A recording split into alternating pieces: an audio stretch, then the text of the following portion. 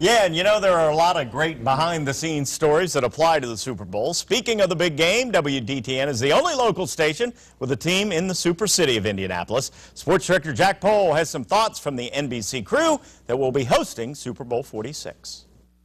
Thanks a lot, Hutch. As the clock winds down to kickoff for Super Bowl 46, it's important to note that there are some local ties in the NBC broadcast booth. After all, Al Michaels used to be the play-by-play man for the Cincinnati Reds, and, well, Cris Collinsworth was a former Cincinnati Bengal. Everyone at the Peacock Network is expecting a super game on Super Sunday.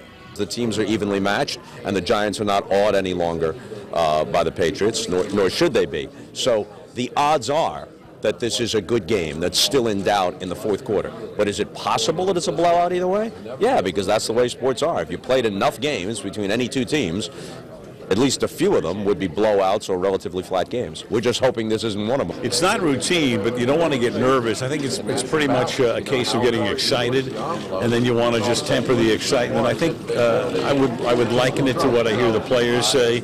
Yeah, you know, you come out onto that field and you're ready to go, and your heart's beating a little faster and all of that, and then the game starts, and after one play, they're kind of back in the routine, and, and it's it's pretty much that way during a Super Bowl or a big event that that you're televising. You want to get off to a nice start, let the game get underway, and then you've been there before, so you know you, you, you got to go back to the fundamentals. Another local time? How about Dan Patrick, who got his start working right here at Channel 2? He has a big job coming up on Super Sunday. Well, I'm fortunate. You know, I, I stepped in and, you know, I got Al and Cris, the best at what they do, uh, Bob at hosting, so my job was just like, how do I blend in with them? How do I complement them? Then I bring in Tony, bring in Rodney.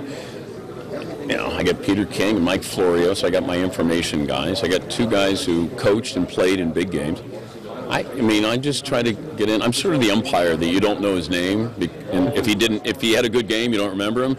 That's me. Just go in there, get, you know, make sure you do your job, and then get out of the way. NBC's coverage begins with a special edition of the Today Show, followed by Football Night in America's Super Bowl 46 pregame show, taking you all the way up to kickoff.